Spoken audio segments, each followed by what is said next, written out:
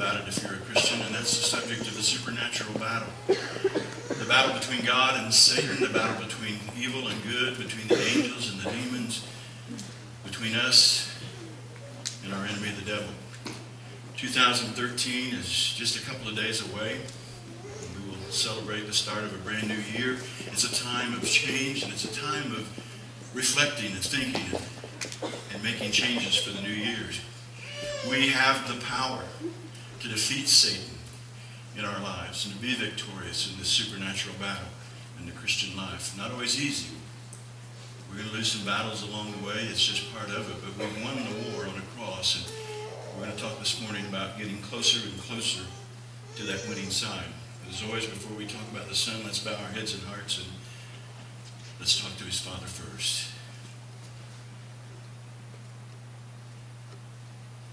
Father, we come thanking you for the celebration of the Christ child and what he means to us growing up to be the Lamb of God that took away the sins of the world. We thank you that our ultimate victory was won on the cross. Because we've said yes to Jesus, you've given us that victory into our lives. In the meantime, you have called us to fight a battle every single day of our lives until Jesus comes back or until we take our last breath. We thank you for the forgiveness of sin and we thank you for second chances that when we do fail and we fall, we get up and you forgive and we go on. But no matter what, we cast a vote in everything that we do for one side or the other.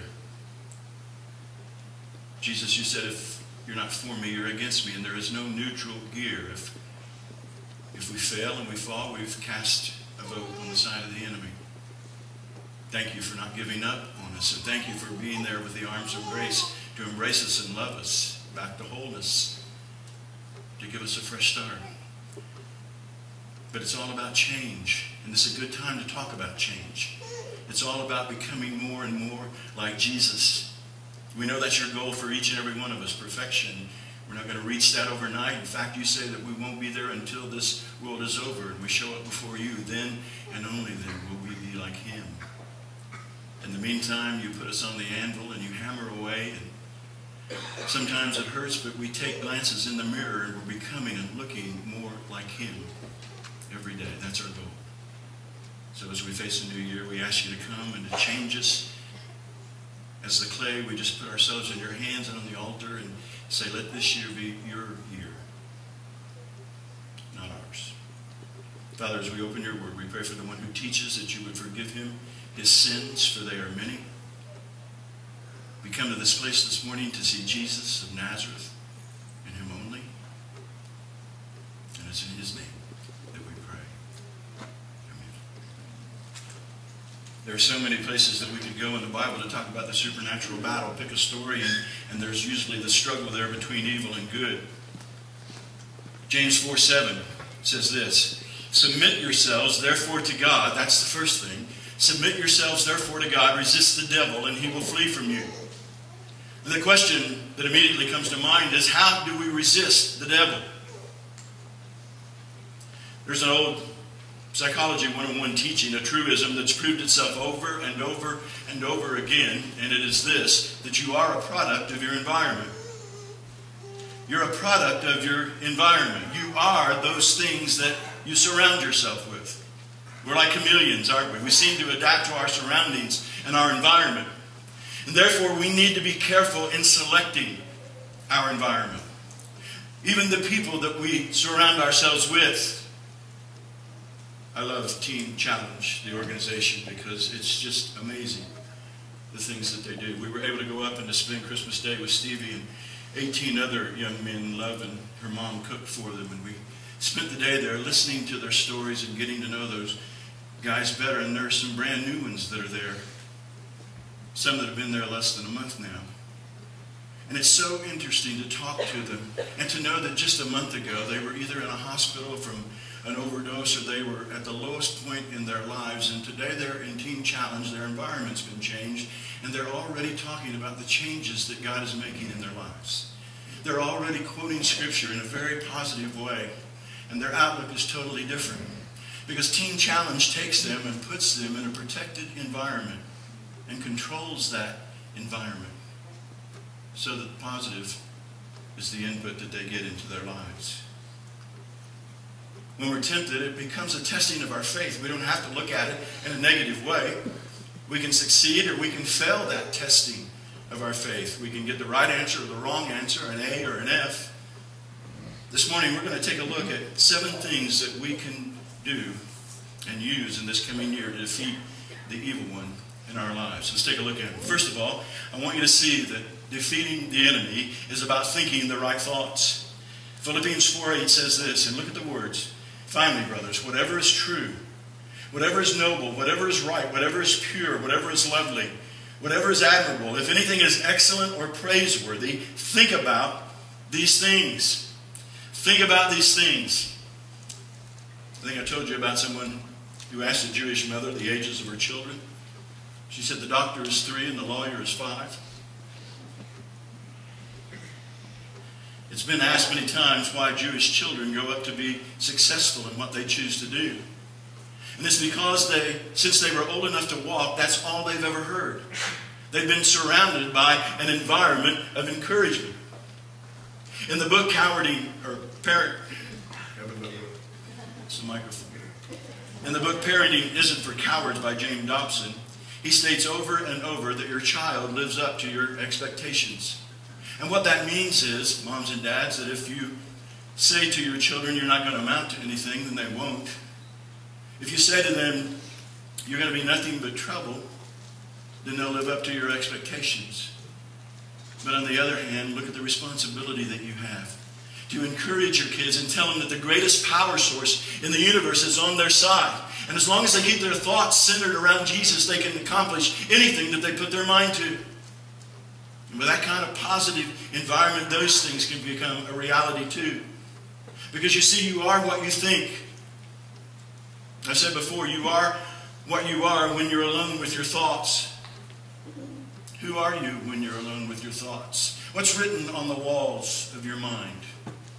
When those closest people to you, who know you the best, are not around and you're simply by yourself, what's written on the walls of your mind? Who are you when your mask's off? And I'll say this you are what you've decided to be. You are what you've decided to be. We need to fill our minds with good thoughts, positive thoughts that come from righteous thinking, because the opposite is stinking thinking. You're to take every thought captive, the Bible says. And if you ever thought about that before without trying to do it, it may seem easy, but it's very difficult to do, but it can be done. And that's something that we need to try and do as we go into a new year. Take every thought captive. As a thought comes into your mind, if it's a good thought, let it come. Dwell on it, think on it. If it's a bad thought, if it's a wicked or evil thought, don't take it. Say no and let it go. One night, a father, amidst the cries and the screams of his young son coming from the nursery, quickly ran in and turned on the light to prove to his little boy there were no bears in the room. Father said, See, son, there aren't any bears in here. And the little boy said, Daddy, the kind of bears I see are the kind that only come out in the dark. I want you to know I can identify with that. When the demons appear at 3 o'clock in the morning and everybody else is asleep and you're there alone. There's an old cliche that says that if you can change your attitude, you can change your life. If you change your attitude, you can change your life. Let me tell you, it's more than a cliche. Some people think it's not possible. You can't teach an old dog new tricks. I'm here to tell you by the blood of Christ that you can. You can change a pessimist into an optimist. You can change a half empty kind of guy into a half full kind of guy. You can change someone who talks about stoplights into looking at the green and calling them go lights. You can talk about someone who talks about a 50% forecast of rain and they hold on to the hope that there's a 50% forecast of sunshine. God wants you to think positive thoughts, dwelling on the good things. He is the creator of all that is good and perfect. And those are the things that we should fill our minds with. The old computer programmer's motto of the 1970s garbage in, garbage out. You remember that? It's true of the mind, too, because it's a precious computer. But the reverse also holds true goodness in, goodness out. Goodness in, goodness out. Think the right thoughts and you'll have victory in the battleground that counts the most, the battleground of the mind, where Satan wins most of his battles. Secondly, I want you to see that we're not only to think the right thoughts to win this battle, we're to see the right sights. Hebrews 12, 2 says this, Let us fix our eyes on Jesus, the author and perfecter of our faith. A lot of us fix our eyes on something other than Jesus. And that's where we get into trouble. Do you remember Peter? Walking on the water to Jesus, as long as he kept his eyes fixed on Jesus, he could do the impossible. He could walk on water. But his downfall was literally when he took his eyes off of Jesus. A lady was showing a church friend her neighbor's wash through her back window. Mabel said to Millie, Millie, would you look? Look at her sheets. Would you look at those dark streaks on those sheets? She never gets them clean. Millie said to Mabel, You know, Mabel, I don't think those streaks are on her sheets. I think those are on your window. A lot of us are like that, aren't we? We see only the faults of others. And that's what we seem to look for all of the time, and we overlook the good. We need to balance. Jesus said you need to be as shrewd as snakes and as innocent as doves. Years ago, one night at the supper table, after the prayer, Stevie said, Daddy, Andy didn't have his eyes closed during the prayer. I said, Stevie, how do you know? He was so busy finding fault with his brother that he didn't realize he was guilty of the very same thing. It happens, doesn't it? When we don't see the right sights or, or look for the right things in people. And if you're looking for something wrong, something negative, you're going to find it. Because when you got a hammer in your hand, everything looks like a nail. Jesus had a teaching on that in the Sermon on the Mount in the seventh chapter of Matthew, where he says, Why do you look at the speck of sawdust in your brother's eye and pay no attention to the plank that's in your own eye? How can you say to your brother, Let me take the speck out of your eye, when all the time there is a plank in your own eye? We need to be careful of the things that we look at and the things that we see. King David got into trouble when he went looking at the wrong things. Bathsheba, up on the roof taking a bath, he looked and he lingered and he desired, and she became pregnant and he killed her husband. All kinds of terrible things came from him just looking at the wrong thing. You know, I feel sorry and pray, I've been praying a lot for those first responders that had to go to Sandy Hook Elementary School in Newtown, Connecticut. We have firemen and policemen and EMTs in this church, and I've talked to them about the job and what they see, and I still have things from being a policeman that haunt me, that got into my mind that'll never get out. And can you imagine anything more worse than what they saw with those six and seven year olds? Once it gets in, it doesn't get out. Once you see something, you can't unsee it. What do you let your mind dwell on? What kind of movies do you watch? What kind of television shows do you watch? When our boys were little, it was G-rated movies, PG if we saw it, that's just the rules and the way that it was. And the thing that we wanted to keep them away from the most was the evil, the horror movies, the Stephen King type of stuff that was coming out. We could always tell when they had snuck and watched one of those. They'd gone and stayed all night with a friend. On Friday night or Saturday night, they came back the next morning, and then that night, they would want the light left on in the hallway. They would sneak down in the middle of the night and crawl into bed with us. Because once that evil made its way in, it couldn't make its way out. Once you see something, you can't unsee it. Let me read you a poem. There's no author given. And it's entitled The Guy in the Glass. When you get what you want in your struggle for self and the world makes you king for a day, then you go to the mirror and look at yourself and see what that guy has to say. For it isn't your mother or brother or wife whose judgment upon you must pass. The person whose verdict counts most in your life is the one staring back from the glass. You may be like Jack Horner and chisel a plum and think you're a wonderful guy. But the man in the glass says you're a bum if you can't look him straight in the eye. He's the fellow to please, never mind all the rest, because he's with you clean to the end. And you passed your most dangerous and difficult test if the guy in the glass is your friend. You may fool the whole world down the pathway of yours and get pats on the back as you pass, but your final reward will be heartache and tears if you've cheated the guy in the glass. Let me tell you something, folks. You're not in this thing to please the guy in the glass. You're to deny him and please the guy with the cross. Thirdly, I want you to see that we're not only to think the right thoughts and see the right sights, we're also to hear the right sounds. Romans 10 17 says, Consequently, faith comes from hearing the message, and the message is heard through the word of Christ. Love's Grandma Gray had a print of a painting up on the wall called Christ at the Door. Maybe you've seen it before. It's a picture of Jesus standing at the door. And it's a illustration of Revelation 3.20. He who hears my voice and opens the door, I will come in. And I pointed out to the boys that there was no handle on Jesus' side of the door. He can't force his way in. He can't even open the door. You've got to open it from the other side.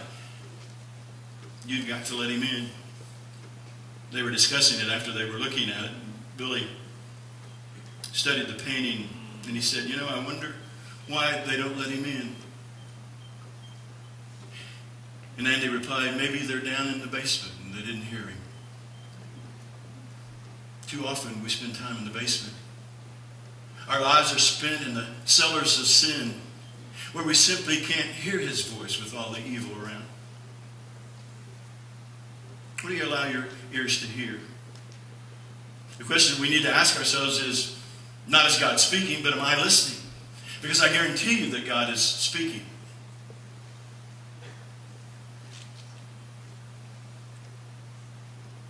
Liv and I were first married, after our honeymoon, we moved into a house out on Ewing Street, sat back off the road in 17 acres of wheat fields. And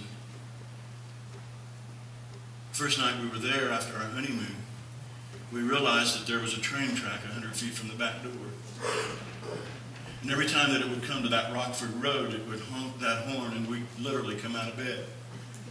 When we moved to Chicago, we were at the southeast corner when we rented a house in Franklin Park at first. We were at the southeast corner of O'Hare Field, an approach to the landing strip there. And those big jets would come over the house, and we would literally come out of our beds again. Somebody gave us a, a fan. And so we started turning it on all the time in our bedroom. So we, we could just listen to the roar of the fan, and it would kind of blot out all the sounds that was coming in from outside. We turned it on high because the more we listened to it, the better it worked. We could just drown out the other things that were around us. We had that fan for about 15 years till we went to Florida. And it wasn't long after we got it till it started making a little bit of noise. The bearings were going out of it. It was an old fan. And the louder it got when the bearings were going out, the, the better we liked it because it helped to drown out the sound. And then finally the bearings froze and the fan had to be thrown away and we went to yard sales looking for an old fan with the bearings that were going out. But we ended up getting us one of these little machines that sits on the nightstand called a, a satin soother. It's got about 30 different sounds that you can put in there, and we put this one on with the roar of a waterfall so that we can go to sleep at night and not hear the things going on in the house or outside.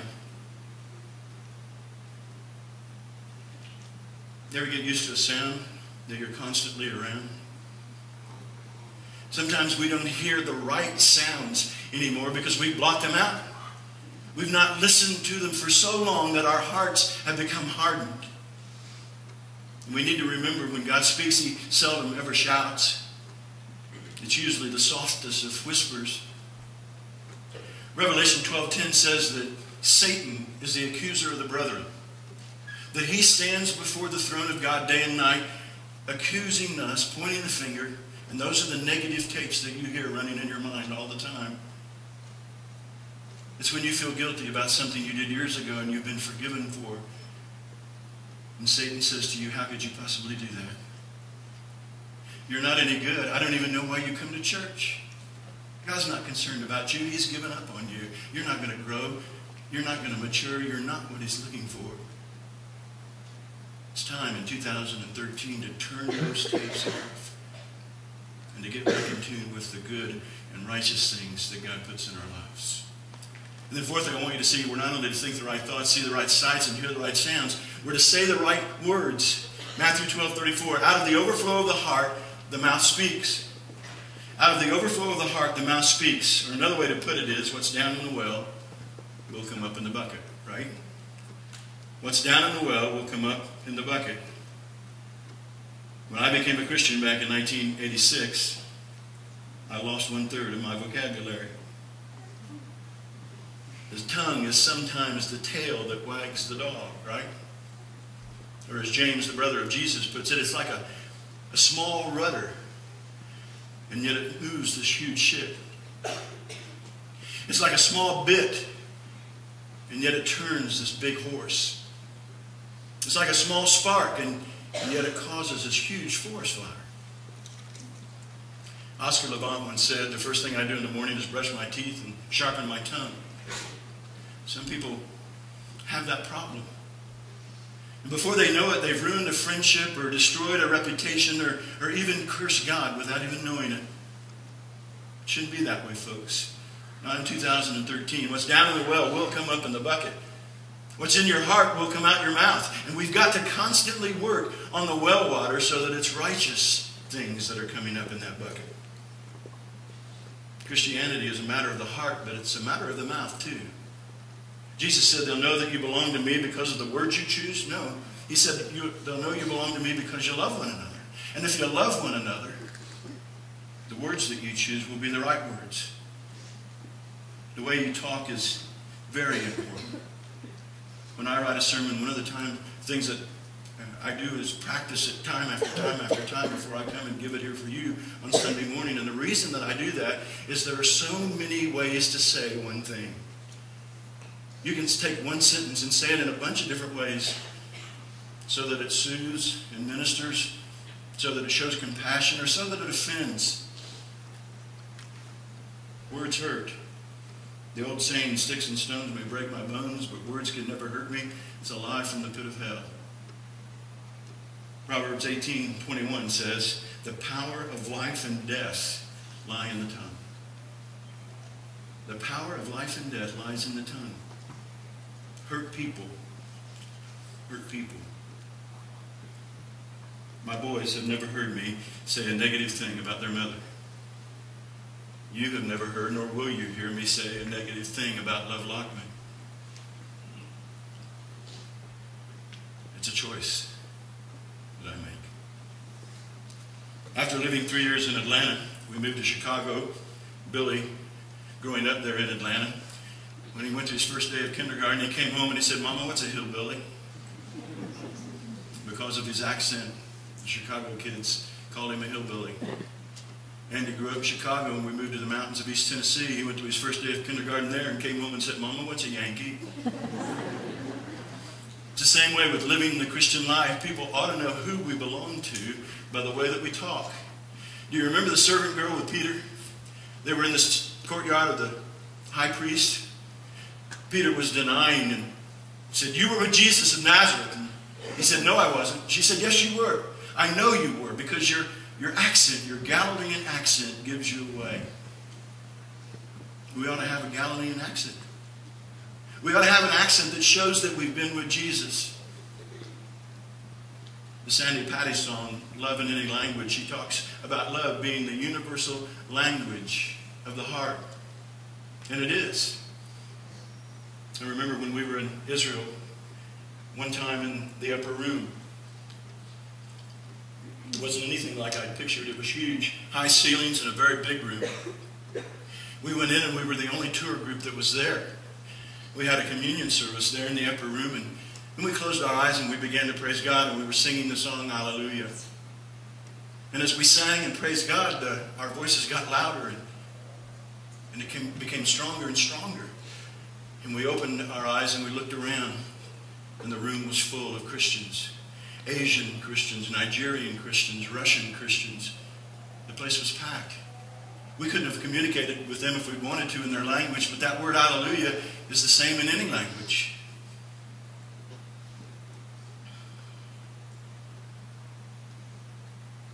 You ever called your dog after they've done something bad? But you know if you're mean to them, they'll run away and you'll never catch them. So what do you do? You smile and you say, come here. Come here, you little mutt. Come here, you stupid little troublemaker. Look what you've done.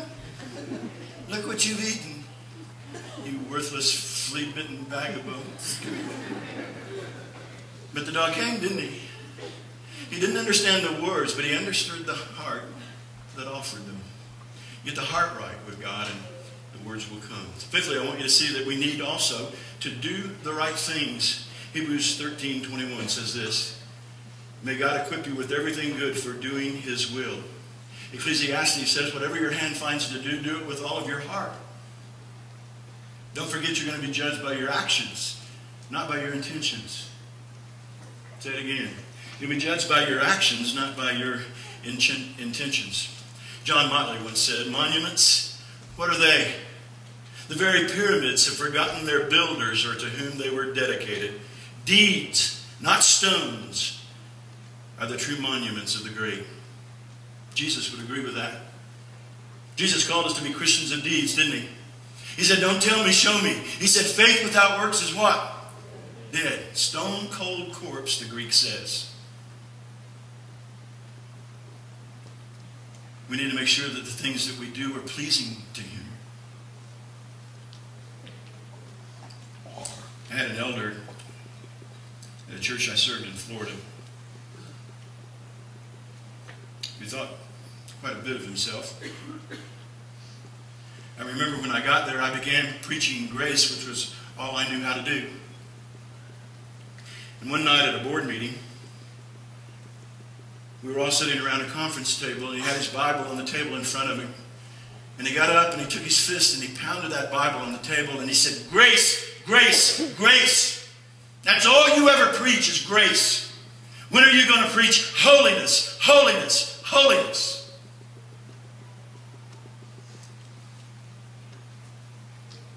The following week, I was working late at the church. My office was upstairs. There wasn't a window to the outside. You couldn't really tell if I was there when I had the door closed. I finished and I was locking up. And I caught this elder having sex with a member of the praise team in the church building. Both of them were married, not to each other. They both had families. I literally walked in on them and caught them in the act. And I said to the elder, Do you want a sermon on grace or one on holiness? When we become a Christian, we are called to change and to do the right things. And so I'm a Christian, I've been baptized, I go to church, but what are you doing for the Lord? In Albert Camus' book, The Fall, it deals with the guilt of a man who lets another man drown because there was no one to watch him save the man. We need to be committed to an audience of one. If he's the only one that sees it, he always does. Don't tell me you're a fisherman. Let me see your catch. Don't tell me you're a great baseball player. What's your batting average? Don't tell me you're a great carpenter. Show me something that you built. Don't tell me you're a Christian, Jesus says. Show me by deeds, by what you do. And then sixthly, he says that we can defeat Satan by going to the right places. Psalm 20, 122, verse 1. I rejoice with those who said to me, Let us go to the house of the Lord. Somebody said when you flee temptation, be sure not to leave a forwarding address. It's important that Christians go to the right places, isn't it? It really is. You can tell a person's priorities and commitment by the places that he or she goes. I'm not going to preach to the choir, but ask yourselves the question Am I committed to this place? Am I committed to church attendance? Am I committed to God and the family of God? Am I here for services every Sunday morning? Am I involved in a Sunday school class? Do I go to Bible study on Wednesday night? You don't have to answer me or give me an excuse.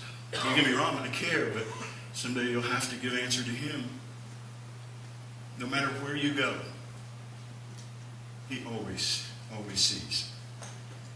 Seventh and finally, I want you to see that we're not only to think the right thoughts, to beat Satan at his game, to see the right sights, hear the right sounds, say the right words, do the right things, go to the right places. But seventh and finally, if we do those things, we belong to the right person. John 15, 16, Jesus speaking, You did not choose me, but I chose you. You didn't choose me, I chose you. All the things that we've mentioned up until now will show you who you belong to. If you provide in 2013 environment for yourself, if you think the right thoughts, if you see the right sounds, or see the right sights, hear the right sounds, say the right words, do the right things, go to the right places, then you can defeat the enemy. You'll belong to the right person. Let me leave you with that question that's almost become a cliche. If you were arrested for being a Christian, would there be enough evidence in your life to convict you? Let me finish with this.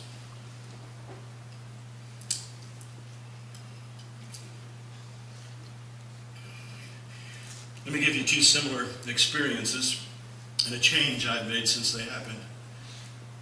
A number of years ago, when I was traveling for the Atlanta Saw Company out of Atlanta, I was in Vancouver, British Columbia, 3,000 miles away from Atlanta. I'd finished the day's business, I'd eaten supper, and I went out jogging afterwards, and then came back to my hotel room. When I came back to the hotel room, the message light was blinking on my phone.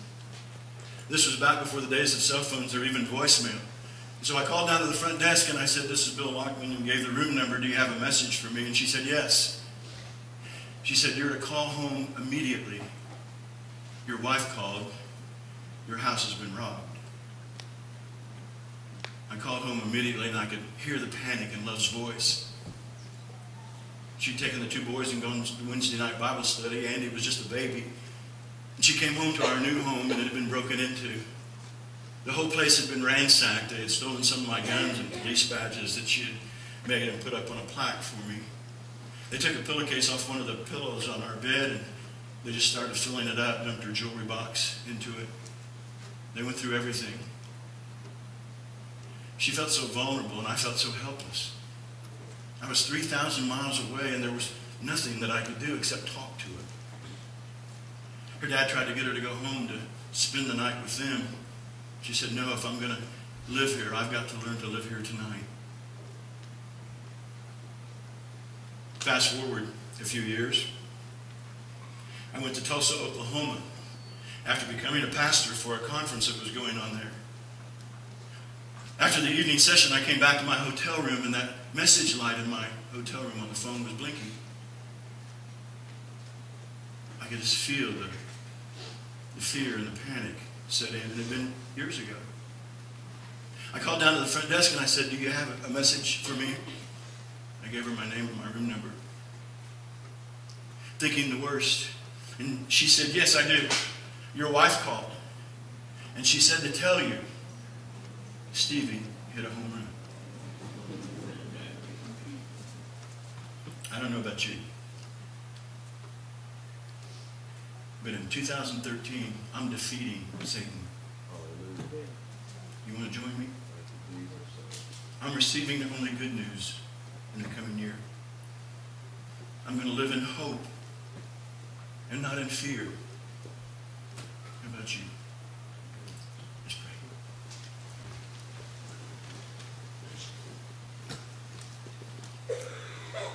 Father, the choices that you give us in our lives are unmeasurable. We've got a choice to make every second of every day when the thoughts come into our minds.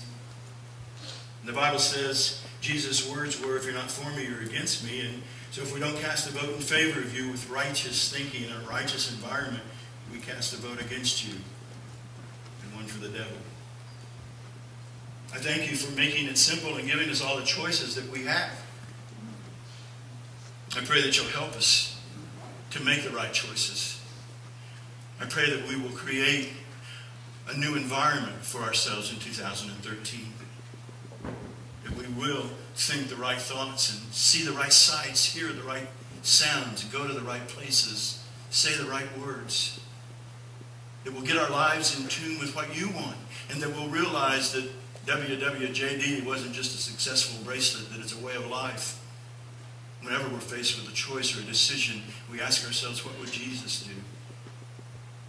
And then do it knowing that it pleases you more than anything else. Be with us in this coming year. Father, we've got just a couple of days left before a new year can literally transform us by the surpassing greatness of Jesus Christ. We thank you for him. We thank you for his example. And we know that someday you've promised that we're going to be like him. Philippians 1 6, what you started in us, you're going to bring to completion at the day of Jesus Christ. Someday we shall be like him. What a deal. In Jesus'